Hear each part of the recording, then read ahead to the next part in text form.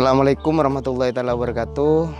Uh, halo guys, saat ini saya sedang berada di Desa Mandala. Di belakang saya ini ada pohon kurma yang sudah berbuah.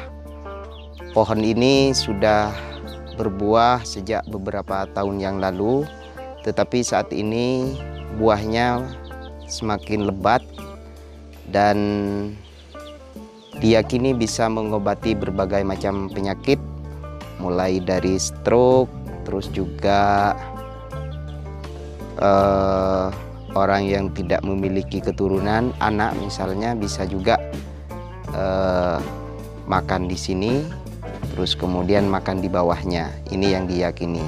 Bahkan bisa jadi juga segala macam penyakit bisa diobati dengan buah kurma yang ada di Kabupaten Sumeneb ini.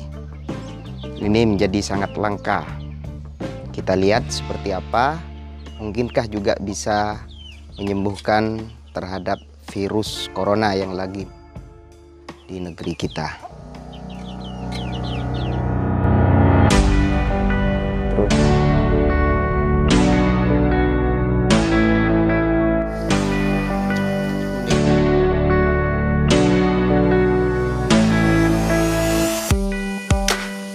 Ini guys buah kurma yang saya sudah ambil tadi dari pohonnya.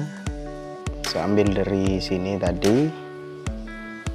Ini biasanya diambil yang biru masih biru. Tetapi ini sudah agak agak matang dan rasanya biasanya agak sedikit manis. Kita nanti akan rasakan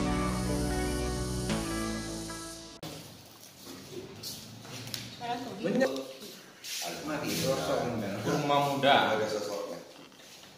Gimana rasanya mas? Kita coba dulu. Gimana rasanya mas? Hmm. kaki ini anehnya biasanya kan kurma bijinya besar. Uh -uh.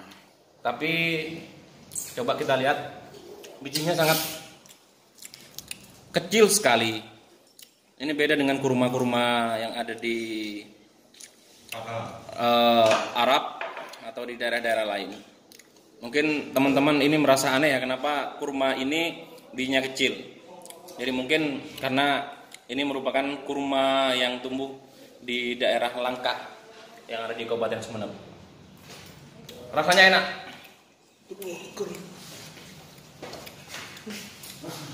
Juga ini dipercaya uh, sebagai obat bagi orang-orang yang tidak mempunyai keturunan. Segala penyakit. Ya, segala penyakit. Dengan cara dibakar. Banyak juga yang berkeyakinan bahwa uh, buah kurma ini bisa menangkal virus corona yang saat ini sedang uh, menyebar di seluruh dunia, terutama di Indonesia. Bisa dicoba ya. Mantap. Demikian kawan-kawan sekalian, saya bersama dengan pemilik buah pohon kurma di Desa Mandala, Kecamatan Rubaru. Beliau juga yang menerangkan tentang uh, pohon kurma ini. Demikian, semoga memberikan manfaat. Assalamualaikum warahmatullahi wabarakatuh.